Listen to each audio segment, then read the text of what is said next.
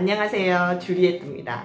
앞으로 여러분들께 제주의 다양한 숙소를 기회가 된다면 보여드리려고 하는데 오늘은 그 첫 번째로 제주도의 회원제 골프클럽 라인느 골프테를 보여드리겠습니다.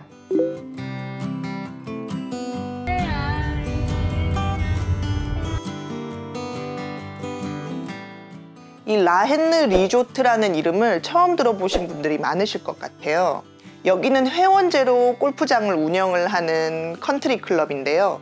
보통 약자로 CC라고 부르죠. 컨트리 클럽이라는 말을 사전으로 찾아봤더니 전원 생활을 즐기려는 도시 사람들을 위하여 골프장, 테니스장, 수영장 따위의 시설을 교외에 갖춘 단체를 이른다고 합니다. 저도 골프에 대해서는 전혀 잘 모르고 저희 가족분 중에 라헨느 회원이신 분이 계셔서 이 존재를 알게 됐지 사실 그 외에 다른 많은 CC들이 제주도에 있지만 자세히 알지는 못해요. 근데 저 꽂아 있는 것도 나와. 어 예쁜 꽃에 물이 있다 그지 들어가자 여기가 처음 지어지고 운영을 한 지는 10년이 훨씬 넘었고요. 그래서 그 세월만큼 약간 인테리어 디자인이나 이런 부분들이 조금 옛날 느낌이 나긴 하지만 그래도 여전히 관리가 매우 잘 되고 있고 또 연휴에는 방을 예약하기가 정말 어려울 정도로 많은 분들이 아직까지 이용을 하고 있는 곳입니다. 이 라헨느는 1층과 2층 숙소로 이루어져 있는데 저희는 아이들이 있는 관계로 1층을 달라고 해서 배정을 받았습니다. 자, 그러면 숙소 구경을 한번 해볼까요? 평수는 37평과 50평 이렇게 두 가지로 이루어져 있는데 회원가로 하면 두 방의 금액이 같기 때문에 저희는 웬만하면 큰 평수를 배정을 받고 싶어 하고요. 이번에 50평을 배정을 받았습니다.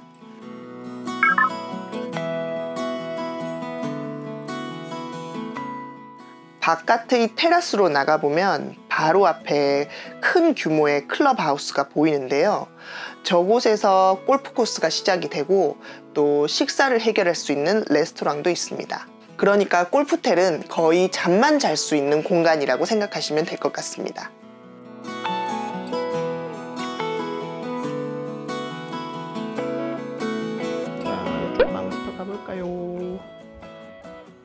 침대가 작은 침대 큰 침대네 작은 침대 큰 침대 그리고 여기도 가보면 이렇게 거울 거울 여기는 뭐야? 거기 뭐야? 아무것도 없는데. 아무것도 없어 옷장이야? 옷장인데. 어 여기는 뭘까? 여기는 뭔지 한번 볼까? 화장실. 화장실 화장실 샤워기 있고 근데 비도 있네. 음비 오는 것도 있지 엄마 이거 세면대가 어 드라이기랑 머리빗이 있네 반대편에 가도 역시 똑같은 구조로 침실과 화장실이 붙어 있는데요. 그래서 여러 가족이 같이 온다면 어, 각각 나누어서 생활할 수 있도록 그렇게 편리하게 구조가 되어 있습니다.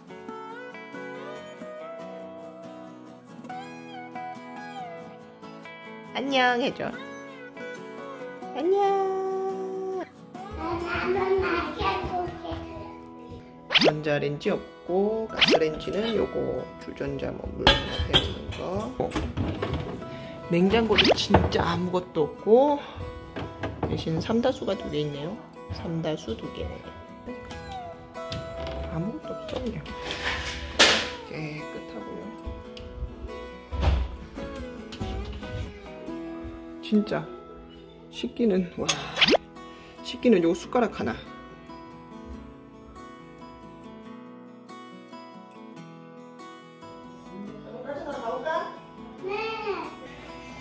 건데?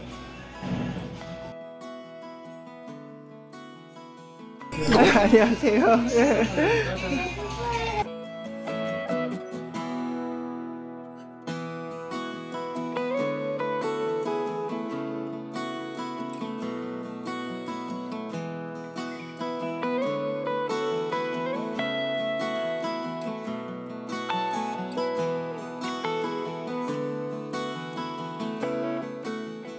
깎지, 깎지 말고 그냥 주세요. 예. 깎- 깎으실까봐.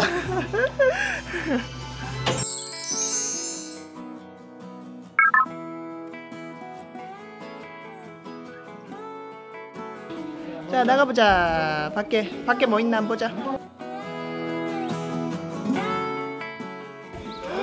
와 멋있다. 와 풍경이 너무 이국적이야.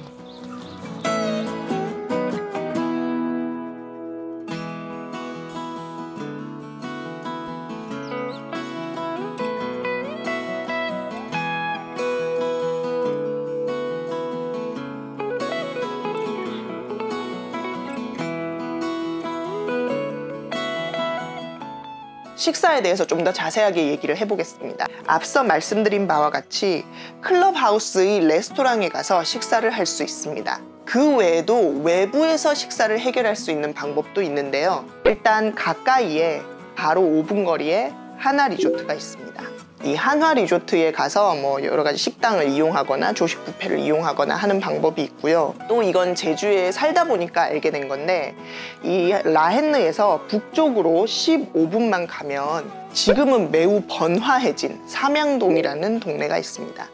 몇 년 전만 해도 여기는 허허벌판이었다고 하는데 지금은 극장이 들어설 정도로 좀 번화한 동네가 됐죠. 이 삼양동에 가면 고깃집도 있고 빵집도 있고 또 다른 방법으로는 많은 관광객분들이 이용하시는 에코랜드 있죠.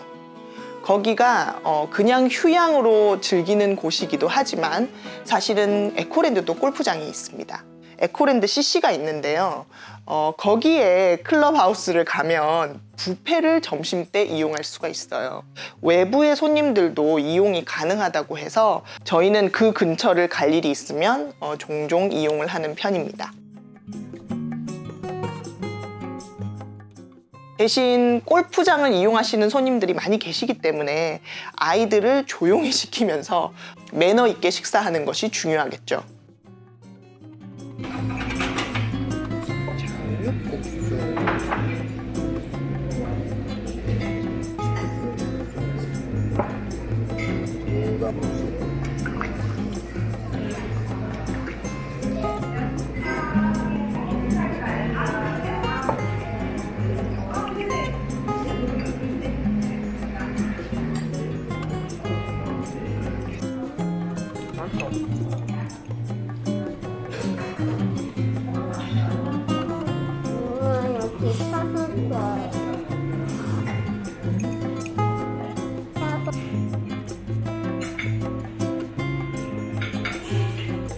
다시 라헨으로 돌아와서 얘기를 계속 해보겠습니다. 제주도의 숙소를 이용할 때 또 중요한 것이 냉난방 시스템입니다. 이 냉난방을 조정하는 것이 개별적으로 할 수 있는지 아니면 중앙에서 제어를 하는지를 확인을 꼭 해보셔야 될 것 같아요. 라헨느 같은 경우에도 고도가 높은 한라산 기슭에 자리를 잡은 곳이다 보니까 낮에는 굉장히 더울 수 있지만 밤에 해가 지고 나면 급격하게 추워집니다.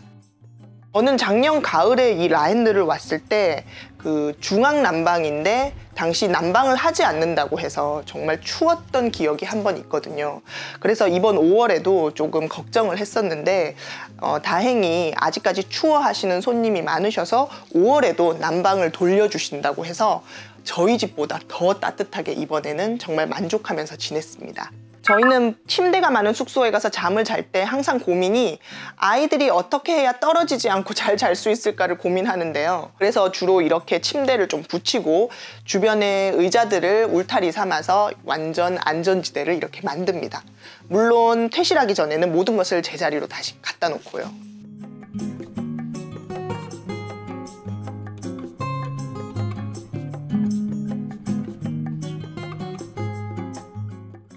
그리고 이 라헨느와 비슷한 위치, 제주시 봉계동에 뭐 숙박 시설에 묵으신다면 또 접근할 수 있는 좋은 관광지들이 많이 있습니다.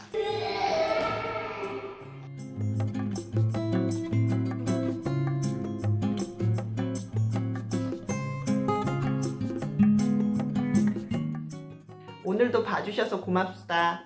좋은 하루 됐어.